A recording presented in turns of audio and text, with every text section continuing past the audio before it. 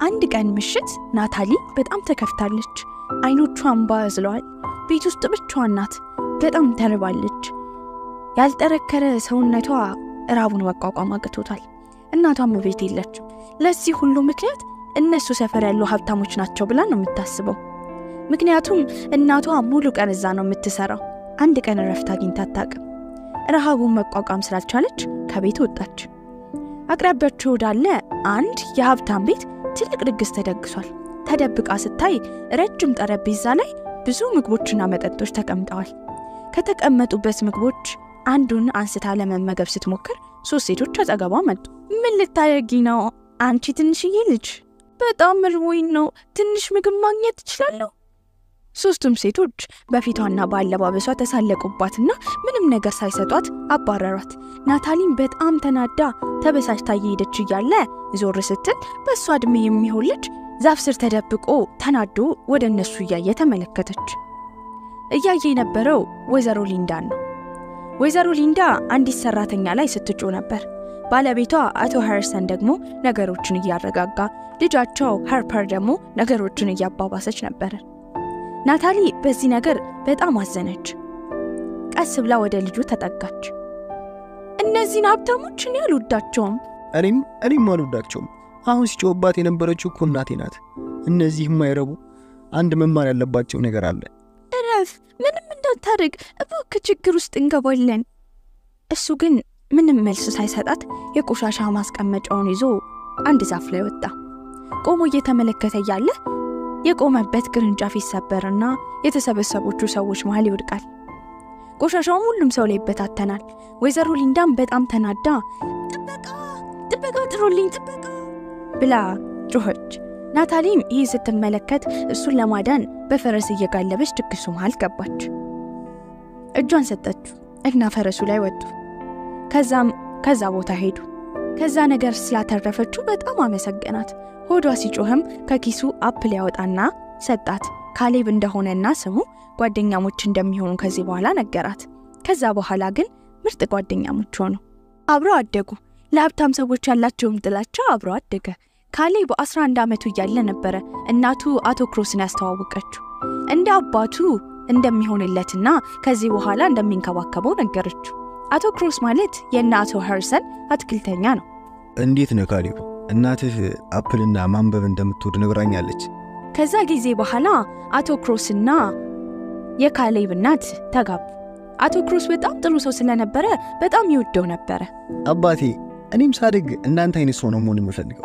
ካሌብ አንተ ከእኔ የተሻልክ ሰው ነው መሆን ያለብህ። የካሌብ አባት ልጁን በብዙ ነገር ያግዘው ነበር። የቤት ስራ ላይ ያግዘዋል። እንዴት የወፍ ቤት መስራት እንደሚችል እንዳለበት ያስተምረዋል። አንዳንድ አስተማሪ ታሪኮችንም ይነግረው ነበረ። አባቴ አንድ የነገረኝ ነገር ላንቺ ላጫውትሽ። ምንም ያህል ፈተና ቢበዛብንና መቋቋም ቢያቅተን እጅ መስጠት የለብንም። ሁል ጊዜ ካለንበት ፈተና ለመውጣት መጣር አለብን። እውነት ነው፣ እኔም እስማማለሁ።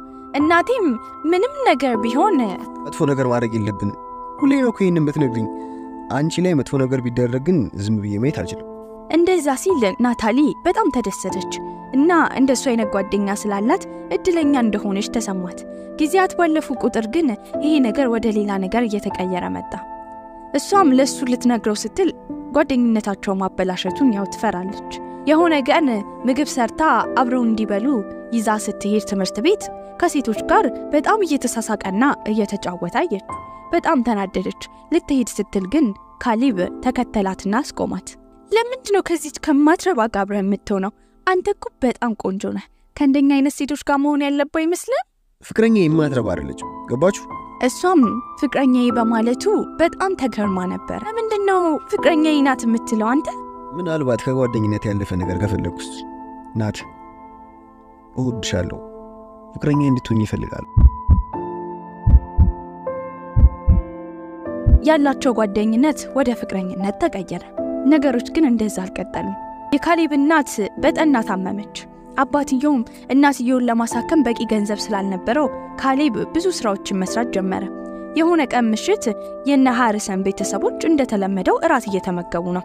አቶ ሃሪሰን እንዴት እዚህ ደረጃ እንደደረሰ ለልጆቹ እያስረዳቸው ነበረ።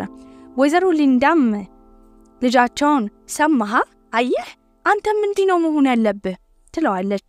ወይዘሮ ሊንዳ ድምጿን ከፍ አድርጋ ቆይ አንተ መቼ ነው ከፍቅረኛህ ጋር የምታስተዋውቀን? ምን እንደሚያጨናንቅ አልገባኝም። ትምህርት ስጨርስ እኮ ለዛ ጊዜ አለኝ። ትምህርት ትምህርት ትምህርት እንደሱ እንደሱ እያልክ ቆመህ እንዳትቀር። የአቶ ቤልጅየምን ልጅ ሺላ ታውቃታለህ አይደል? እሷ ወደ ሀገር ትገባለች። ከእሷ ጋር ትግባባላችሁ፣ ከዛ ደግሞ ትጋባላችሁ። እሷ ለእኔ የምትሆን ሴት አይደለችም። ስሯ ሁሉ እኮ የህፃን ነው። በጣም ስለምትወድህና ለአንተ ስለምትጨነቅ እኮ ነው ልጄ። በቃ አትገፋፊው። በራሱ ሰዓት የፈለገውን ነገር ማድረግ ይችላል። አይሆንም፣ እሷ የተማረች ናት። ሲቀጥል ደግሞ ቤተሰቦቿ ሀብታም ናቸው። በደንብ ነው ያደገችው። ከእሷ ጋር መሆን ያለባቸው። በቃ በአሁኑ ሰዓት ጊዜን ከሌላ ሴት ጋር ማሳለፍ አልችልም። ነገርኩህ። ታሳልፋለህ፣ አብረሃት ታሳልፋለህ። ትእዛዝ ነው። ኡፍ በቃ እሺ፣ እኔ መናገር ደብሮኝ ነው እንጂ አለኝ፣ ፍቅረኛ አለኝ። ወዲያው ከጠረጴዛው ተነስቶ ሄደ። መናፈሻ ውስጥ ቆሞ እያለ የካሌብ አባት አቶ ክሮስን አገኛቸው። ዱክ እንዴት ነህ? የተናደድክ ትመስላለህ። የተፈጠረ ነገር አለ እንዴ? ያው እንዲሁ የቤተሰብ ነገር ነው፣ አለመግባባት። አቶ ክሩስ ልጅ አለህ እንዴ? አዎ፣ እድሜ ይሆናል። አንድ ቀን አስተዋውቃችኋለሁ። ዱክም ሳቅ ብሎ ሄደ። የናታሊ እናት በጣም ታማ ነበር። ናታሊን መድኃኒት ልትገዛ ከካሊብ ጋር ወደ ፋርማሲ ሄደች።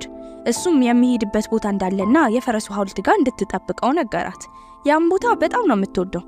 ታዲያ ቁጭ ብላ እየጠበቀችው እያለ የሆነ ነገር መሬት ላይ ታያለች። የፈረሱ የአንገት ጌጥ ነበረ። የአንገት ጌጡን አነሳችና ፈረሱ ላይ ልታደርግለት ስትል ፈረሱ ይንገዳገድና ይወድቃል። ፍርስርሱ ወጣ። ብዙ ሰዎች ተሰበሰቡ። አንዳንዶቹ ይሰድቧታል፣ አንዳንዶቹ ትታሰር ይላሉ፣ አንዳንዶቹ ደግሞ ያለቅሳሉ። ምክንያቱም ያ ፈረስ የሰፈራቸው ቅርስ ነው። ፖሊስ ተጠራ። ከዛም ታሰረች። ዱክም ወዲያው መጣና ከፖሊስ ጣቢያ አስወጣት። እሷን ለማስፈታትም 50 ሺህ ብር እንደከፈለ ነገራት። እንዴ ቆይ አታቀኝም? ስሜን እንኳን እኮ አታውቀውም። ለምን ለኔ ይሄ ሁሉ ብር ከፈል? ለስራ ፈልጌሽ ነው። የሆነ ስራ ብርሽ እንድትሰሪ ይፈልጋለሁ። ምን? የምን ስራ? ለአንድ ወር የውሸት ፍቅረኛ የተወኛለሽ። ኮንትራት አዘጋጅልሻለሁ፣ እሱን ታነቢዋለሽ። እንዴ ቆይ እንዴት ትስማማለች ብለህ አሰብክ? ሲቀጥል ደግሞ ፍቅረኛ ቢኖረኝስ? ካልሆነ ገንዘቤን ትመልሻለሽ። እና በቃ ሌላ መንገድ ፈልጋለሁ ገንዘብን ለመመለስ። ገንዘቤን ለመመለስ በአንድ ቀን ነው መሆን ያለበት። boyfriend ይኑርሽ አይኑርሽ እኔ ግድ የሚሰጠኝ ነገር የለም። ብቻችንን ስንሆን እንደማያውቅሽ ሰው ነው የምሆነው። ሌላውን ግን just ማስመሰል ብቻ ነው ሰው እንዲያምን። እንዴ እንደዛ ከሆነ ቆይ ላስብበታ ብላ ለማሰብ ወደምትወደው ቦታ ሄደች። ከዛ ካሌብ መጣ። እዚህ ምን ትሰሪያለሽ? ቆይ ደግሞ ያለቀሽ ነው እንዴ? እባክሽ አታልቅሽ፣ ይከፋኛል። እዛ ምንም አማራጭ ስላልነበራት ሁሉን ነገር ነገረችው። እሱም በጣም ተናደደ። እሺ ማለት አልነበረብሽም። ለምን እንዲረዳሽ ፈቀድሽለት? እና ምን ላድርግ? ደጋግሜ ስደውልልህ እኮ ስልክ አታነሳም እና መታሰር ነበረብኝ። እና ታዲያ ፍቅረኛ ከሌላ ወንድ ጋር ስትሆን እንዴት ማየት እችላለሁ? ለእኔ እኮ ይህ ጉዳት ነው። እና ምን ላድርግ? ቆይ ለምን አትረዳኝም? በቃ በቃ በቃሽ፣ በቃ አታልቅሽ። እሺ ለአንድ ወር ብቻ ነው ያልሽኛ? እሺ ብዙ ገንዘብ ነው የሚከፍልሽ? በቃ እሺ እረዳሻለሁ። አዎ ብዙ ገንዘብ እኮ ነው የሚከፍለኝ። ከዛ እኔም ያገኘሁትን ገንዘብ ግማሹን ለእናትህ እሰጣታለሁ። እባክህ ተረዳኝ፣ በቃ እንዳትቆጣኝ። እሺ እንደዛ ከሆነ በአንድ ነገር መስማማት አለብን። በምን